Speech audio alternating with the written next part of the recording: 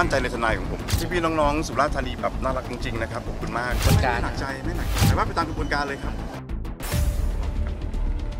พ่อกับพี่ยิงครับไม่หนักใจนะครับก็ว่ากันไปไปตามกระบวนการ ไม่หนักใจไม่หนักใจว่าไปตามกระบวนการเลยครับโอเคครับ เป็นการมาเชิญหน้าครั้งแรกนะครับ ของพวกเรากับคณะเชื่อมจิต ที่เด็กเดินมาเดินมาแล้วหยุดเลย แล้วก็มองหน้าแล้วก็ทำหน้ากวนๆใส่ซึ่งแบบโอ้ สงสารไหมก็เขาเอ็นดูหรือสงสาร ตาใส่พี่เยอะมากเลย แต่ก็ไม่ไม่ได้ถือสานะที่สงสารมากกว่าอืม ด้วยความที่อาจจะไม่ได้รับการอบรมจากแม่อืมซึ่งมันเป็นภาพที่ไม่ไม่น่าดูเขาก็น่าจะได้รับพฤติกรรมแบบนี้มาจากผู้ใหญ่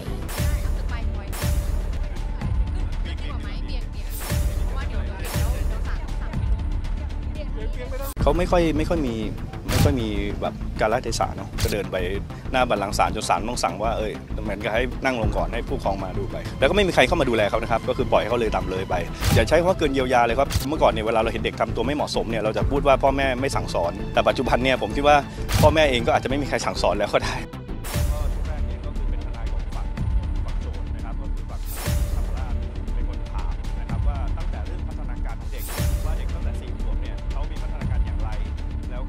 ก็ฝากไปคิดแล้วกันครับว่าอย่าให้ลูกคุณต้องกลายเป็นภาระสังคมในอนาคตเลยครับ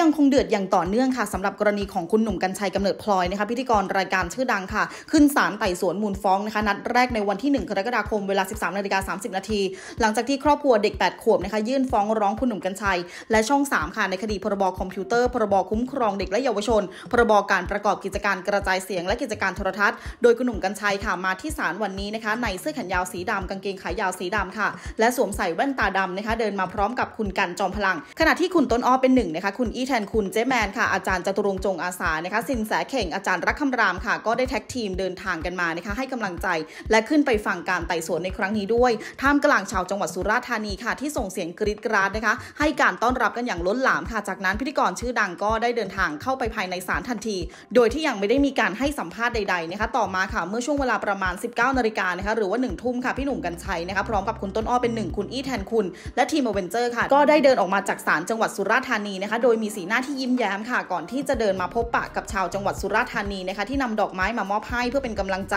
พร้อมกับส่งเสียงให้พี่หนุ่มกัญชัยสู้ๆค่ะ จากนั้นพี่หนุ่มกัญชัยค่ะ ก็ได้ให้สัมภาษณ์สั้นๆ กับทัพนักข่าวนะคะ โดยทางรายการหนกระแสถ่ายทอดสดขณะสัมภาษณ์ค่ะ เจ้าตัวนะคะได้เผยว่านัดไต่สวนมูลฟ้องนัดแรกที่ทางครอบครัวเชื่อมจิตได้ฟ้องร้องตนในวันนี้นะคะ ยังไม่เสร็จสิ้น เบื้องต้นค่ะศาลได้นัดไต่สวนฝ่ายโจทย์อีก 2 นัดนะคะ ก่อนที่จะพิจารณาค่ะว่าจะรับฟ้องหรือไม่ส่วนตัวนะคะไม่มีความกังวลใจอะไรราะว่ามั่นใจในทนายความของตนเองค่ะ พร้อมกับขอบคุณชาวจังหวัดสุราษฎร์ธานีทุกคนนะคะที่มาให้กำลังใจ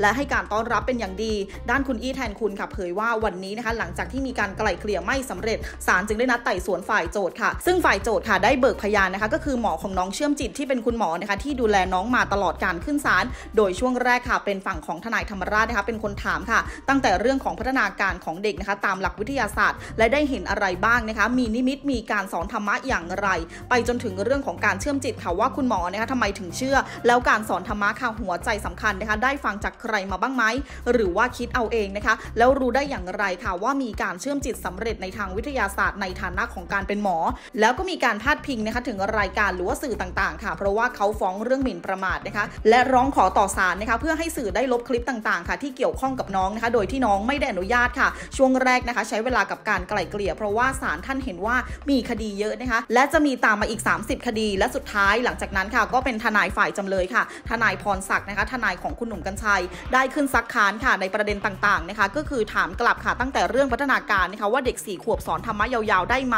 หรือมีแม่นะคะ คอยกำกับอยู่ข้างๆ แล้วทางทนายค่ะ ก็มีการเอาข้อความยาวๆนะคะที่มีการโพสต์อยู่ในเพจดังกล่าว มาให้พยานดูนะคะ ว่าอันนี้เป็นข้อความที่น้องพูดเอง สอนเองหรือไม่ไล่เป็นจนถึงเรื่องการเชื่อมจิตนะคะว่ามีวิธีการอย่างไร และสิ่งสำคัญอีกอย่างหนึ่งเลยก็คือยอดของผู้ติดตามจากเพจค่ะที่มีผู้ติดตามอยู่ 20,000 กว่าคนนะคะ แต่หลังจากออกรายการโหนกระแสก็มีผู้ติดตามเพิ่มขึ้นเป็น 80,000 คน แบบนี้เรียกได้ว่าเกิดความเสียหายได้อย่างไร และตัวพิธีกรก็ไม่ได้มีการกล่าวว่าน้องเป็นพระพุทธเจ้า แต่ได้อธิบายว่ามีคนอ้างว่า แล้วก็มีการเบอรูปภาพของน้องทุกภาพที่ออกสื่อ ไม่ได้มีการกล่าวหา และเป็นการดึงภาพมาจากเพจนิรมิตเทวาจุติออกมาทั้งหมด คุณอี้แทนคุณนะคะได้เล่าต่อค่ะว่ามีตอนหนึ่งศาลนะคะได้วางกรอบในการสื่อสาร ว่าต้องเคารพต่อสิทธิเสรีภาพของสื่อนะคะ ในขณะเดียวกันก็ต้องไม่มีการบิดเบือนนะคะ ให้ข้อมูลที่ตรงไปตรงมา ที่เป็นประโยชน์ต่อสาธารณะ เพราะมองว่าทางประชาชนนะคะมีสิทธิ์ที่จะได้รับข้อมูลข่าวสารอย่างถูกต้องตรงไปตรงมา และระมัดระวังในแง่ของการสื่อสาร โดยเฉพาะไปพาดพิงเกี่ยวข้องกับคู่กรณีนะคะที่เป็นโจทย์ฟ้องร้องในวันนี้ ซึ่งตนได้คุยกับทางทนายและคุณหนุ่มกัญชัย ตนคิดว่าไม่ได้มีกรณีใด ๆ ไปพาดพิงให้เสียหาย มีแต่เรื่องที่เราจะต้องทำความเข้าใจในเรื่องนี้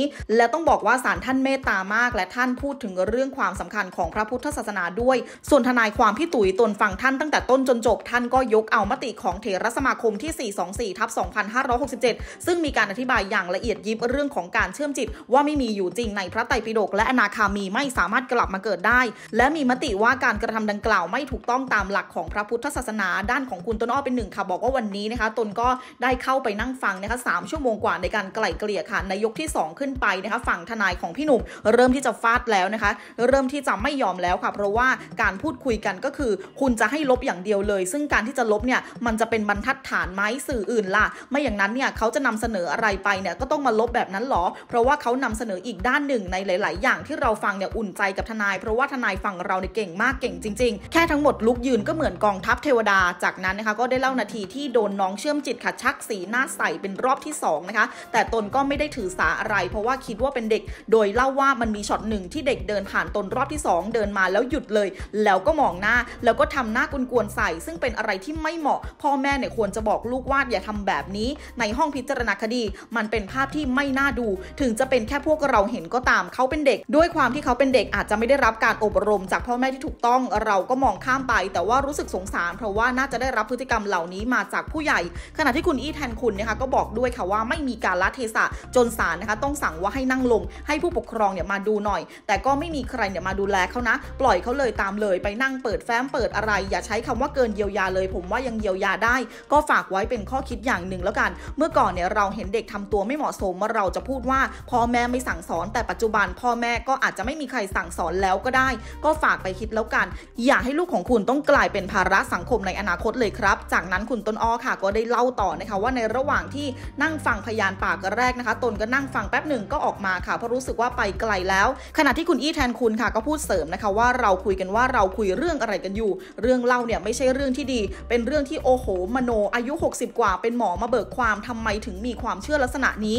บอกว่าน้องเป็นลูกพระพุทธเจ้ามาเกิดอย่างนั้นอย่างนี้ เขาเชื่ออย่างเป็นตุเป็นตะว่าจริง ด้านของคุณต้นอ้อนะคะบอกว่าแล้วเขาเนี่ยเป็นหมอพัฒนาการเด็ก ซึ่งน่าจะมีไลฟ์หนึ่งนะคะที่เขาบอกว่าเขาไม่ได้เป็นหมอพัฒนาการ แต่ว่าวันนี้เขาพูดในศาลเองว่าเขาเป็นหมอพัฒนาการเด็ก แล้วก็เป็นหมอที่ติดตามดูพัฒนาการของน้องมาตั้งแต่ตอนที่น้อง 4 ขวบ ซึ่งเรานั่งฟังแล้วก็รู้สึกว่าคนเป็นหมอเนี่ยเขาไปไกลได้ขนาดนี้เลยเหรอ กับเรื่องความเชื่อที่มันบิดเบือนไปต่างๆ นานา ตนนั่งฟังแล้วก็ขอออกมานั่งพักก่อนเลย แต่เราไม่สามารถพูดอะไรได้มากก็รู้ แต่ว่ามันสนุกค่ะ วันนี้สนุกมากด้านของคุณอี้แทนคุณนะคะก็เผยต่ออีกนะคะว่า อีกด้านหนึ่งทำไมถึงมีทนาย 4 คนนะคะ คือมีทนายของพี่หนุ่มนะคะ และทนายอีก 3 ท่าน ซึ่งมาจากผู้ที่ถูกฟ้องด้วยเช่นกัน ตั้งแต่ช่อง 3 BEC t e r o กรรมการบริหาร จริง ๆ ไม่ได้มีส่วนเกี่ยวข้องเลย ถ้าจะดำเนินการและจะสู้ แต่ว่าทนายฝั่งโน้นก็ไม่ยอมเอาเหตุผลอะไรมาแถไปแถมา บอกว่ามีส่วนเกี่ยวข้องเป็นคนสั่งการสุดท้ายก็เจรจาไม่ลงตัวก็เลยเป็นเหตุให้นัดไต่สวนมูลฟ้อง คือเริ่มดำเนินคดีเข้าสู่กระบวนการยุติธรรม ถ้าศาลเห็นว่า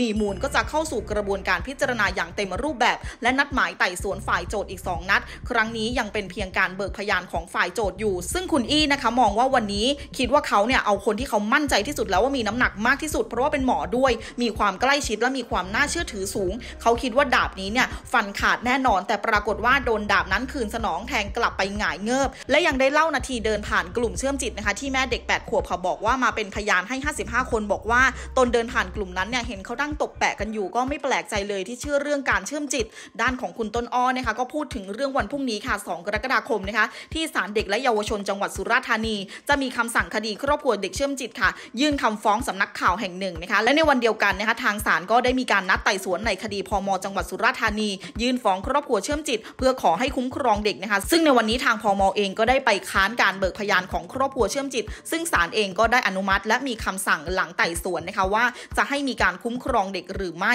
ซึ่งหากศาลมีคำสั่งให้มีการคุ้มครองเด็กนะคะก็จะเป็นประโยชน์ต่อคดีต่างๆ ที่ทางครอบครัวได้ยื่นฟ้องในอีกหลายคดี รวมไปถึงคดีของตนที่ทางครอบครัวเชื่อมจิตได้ยื่นฟ้อง และก็จะมีการนัดไต่สวนในวันที่ 1 สิงหาคมนี้ พร้อมกันนั้นคุณอี้แทนคุณนะคะก็ยังได้ฝากความเป็นห่วงเป็นใยค่ะถึงสื่อมวลชนนะคะที่มีการนำเสนอภาพข่าวต่างๆให้อ้างอิงแหล่งที่มานะคะเพื่อหลีกเลี่ยงการถูกดำเนินคดี ซึ่งในคดีนี้ค่ะทางตนนะคะและทีมอเวนเจอร์ก็ไม่ได้หนักใจอะไร เพราะว่าเชื่อใจในฝีมือของทนายพรศักดิ์ค่ะก็เรียกได้ว่าต้องคอยติดตามกันต่อไปนะคะ โดยการไต่สวนนัดที่ 2 ค่ะ จะเกิดขึ้นในเดือนกันยายน 2567 ปักหมุดรอกันไว้ได้เลยค่ะท่านผู้ชม